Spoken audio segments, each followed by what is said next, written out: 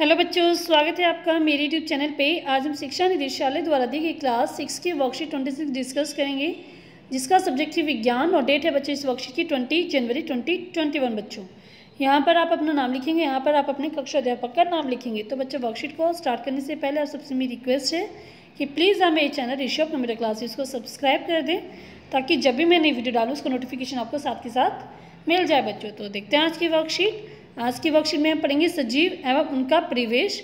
यह हमारे चैप्टर का नाम है और इसमें हम पढ़ेंगे जीवों की विशेषताएँ। तो जीवों की विशेषताएँ देखते हैं। फ़र्स्ट है इसमें विशेषता, उद्दीपन। तो सभी जीव अचानक हुए परिवर्तन पर अनुक्रिया करते हैं।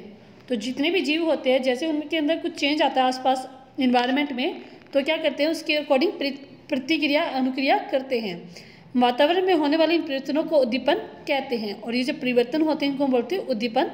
कहते हैं, जैसे कि अचानक अधिक प्रकाश होने पर मनुष्य अथवा जानवर अपनी स्थिति के अनुसार अनुक्रिया करते हैं। तो जैसे कि हमें पता है जैसे अगर तेज लाइट हो जाए तो आपकी जो आइस है वो एकदम बंद हो जाती है तो वो क्या है? अनुक्रिया करते हैं। वैसे ही जानवर भी इसी प्रकार अपनी अनुक्रिया देते हैं। आओ अभ्यास करें। रसोई घर में अचानक बल्ब जलाने पर कॉकरोच किस प्रकार की अनुक्रिया करता है? तो अगर आप बल्ब जला रहे तो एकदम कॉकरोच क्या करता है? कॉकरोच भागने लगता है। आप क्या कहेंगे कॉकरोच इसको लिख, देती हूँ यहाँ पे। कॉकरोच जैसे आप हैं तो क्या होता है? कॉकरोच भागने लग जाता है। कॉकरोच भागने लगता है। ठीक है आप इसमें लिख लेंगे। नेक्स्ट क्वेश्चन नेक्स्ट देखते हैं हम। क्या सजीव में उत्सर्जन होता है? क्या सजीव में उत्सर्जन होता है? आंसर है इसका। सभी सजीव भोजन करते हैं। आहार का कुछ भी भाग शरीर के द्वारा उपयोग में आता है और बाकी अपशिष्ट के रूप में शरीर से बाहर निकाल देते हैं। इस निकालने के पराक्रम को हम उत्सर्जन कहते हैं। तो उत्सर्जन क्या होता है?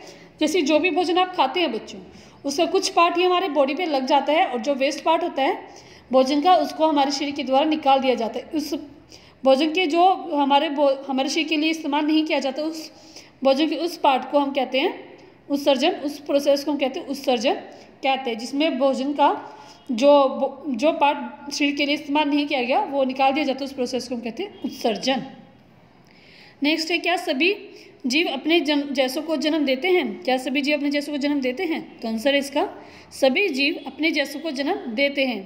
प्रजनन करने की प्रक्रिया पौधों और जंतुओं में अलग अलग होती है। प्रजनन क्या होता है? जिसमें वो अपने जैसे जीव पैदा करते हैं, उसको बोलते हैं प्रजनन। और प्रजनन करने की जो प्रक्रिया होती है, की जो प्रक्रिया होती है, वो क्या होती है? जंतु, पौधों और जंतु दोनों में अलग अलग होती है। जंतुओं में कुछ जंतु शिशु को जन्म देते हैं और कुछ क्या करते हैं? अंडों को, कुछ जंतु अंडे देते हैं। तो क्या है? कुछ तो सीधा शिशु का पैदा कर देते हैं, कुछ क्या? अंडे की फॉर्म में अपने जैसे पैदा करते हैं।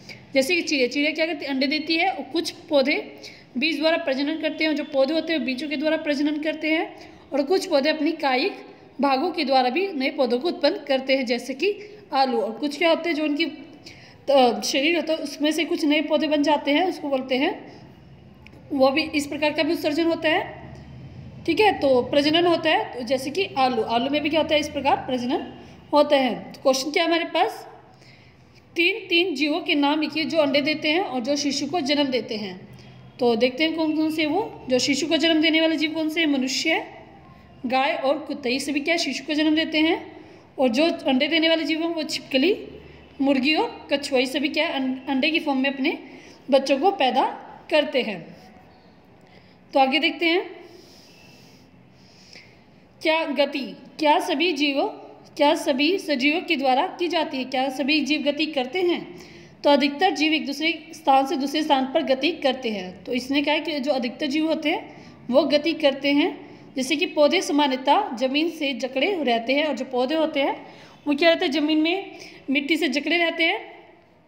ठीक है, ऐसे जकड़े रहते हैं वो, इसलिए वे गति नहीं करते। परंतु जो विभिन्न पदार्थ, जैसे जल और खनिज भाग, एक भाग से दूसरे भाग, दूसरे में संवाहित होते हैं। इसने इसका एग्ज़ाम्पल क्यों दिया? पौधे, क्योंकि हमें पता है कि पौधे क्या है? सजीव हैं और पौधे क्या है? मूवमेंट नहीं कर पाते इट मीन्स क्या है? एनर्जी माने जाते नहीं, लेकिन ऐसा नहीं है कि, लेकिन पौधे क्या है? पौधे हैं हमारे, सजीव हैं, क्योंकि वो गति नहीं कर सकते, लेकिन जो उसके, जो जल है और खनिज पदार्थ है, वो एक दूसरे के अंदर संवाहित होते रहते हैं। तो इसलिए पौधे भी क्या हमारे सजीव है। तो क्वेश्चन क्या है इसमें?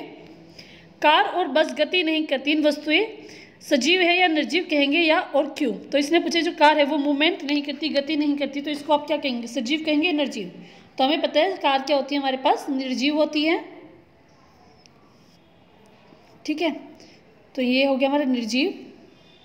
और क्यों है? क्योंकि ये सांस नहीं लेती, क्योंकि अपनी क्योंकि कार क्योंकि कार सांस नहीं ले सकती।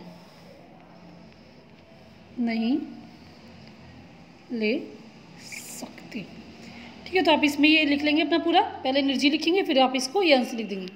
तो पूरी वर्कशीट बच्चों, हमारी कंप्लीट हो गई है अगर आपको वर्कशीट समझ में आई अच्छी लगी है तो इस, इसी प्रकार अच्छी अच्छी वीडियो की, के लिए आपको वेट ना करने पड़े। इसके लिए आप मेरे चैनल को सब्सक्राइब कर देंगे। सब्सक्राइब के लिए आपको इस वीडियो के नीचे डिस ऋषभ कंप्यूटर क्लास के साथ में आपको ऋषभ सब्सक्राइब का बटन मिलेगा तो आप इस पर क्लिक कर दें। तभी आपको मेरी सभी वीडियो के नोटिफिकेशन मिल पाएँगे। वीडियो अच्छी लगी तो लाइक कर दें। शेयर करो कमेंट करके बताइए कि आपको वीडियो कैसे लगे बच्चों। थैंक यू बच्चों हैवी नाइस डे